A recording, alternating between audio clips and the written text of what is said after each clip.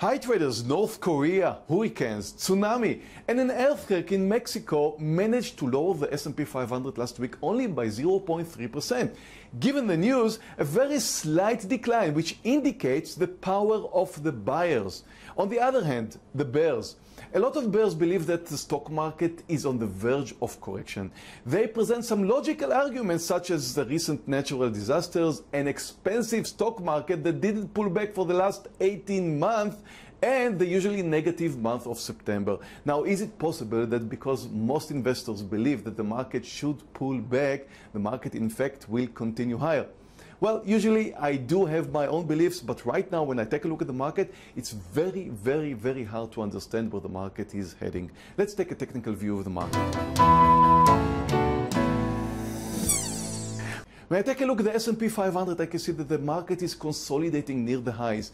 And it is in fact holding for quite a long time near the recent highs and as we say, the longer the base, the higher into space. So it is true right now that the technical formation of the market moving higher looks amazingly good. But again, the arguments for moving higher are not as good as the arguments of moving lower, but I can't argue with the way the market looks technically. So if the market will move off the recent highs, that's going to be a very, very interesting breakout. I do not have my opinion this week about the market direction. Sorry for that, but usually I do. But right now it's very, very hard to say where the market is heading. Let's take a look at uh, last week picks. When I take a look at last week picks, I can see that uh, FNSR did great. Came down by more than 12%, plenty of room to take our first 3% partial. So FNSR did great. The last quarter size is still in the game. Hopefully will continue. My second pick last week was MU Long. MU Long did trigger, didn't do so good. It's down by 2%.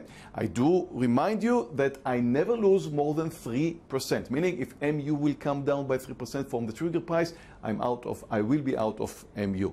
Let's have two picks for this week. My first pick for the week is HFC Long, over $32.65. HFC is an oil refinery in the States. Oil prices are coming up with the help of, of course, with uh, the weather. So HFC is looking good for some more upside continuation. Nice technical formation, long in HFC.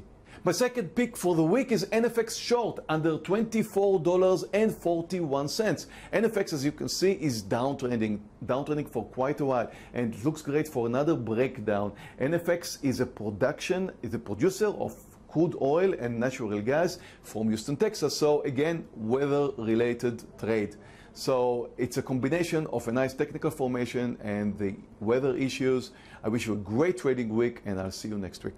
Traders, if you like to learn trading, trade live with me and get a funded account without risking your money, click in this corner in order to learn more about my funded accounts program. And if you're not subscribed to this channel, just go ahead and click subscribe.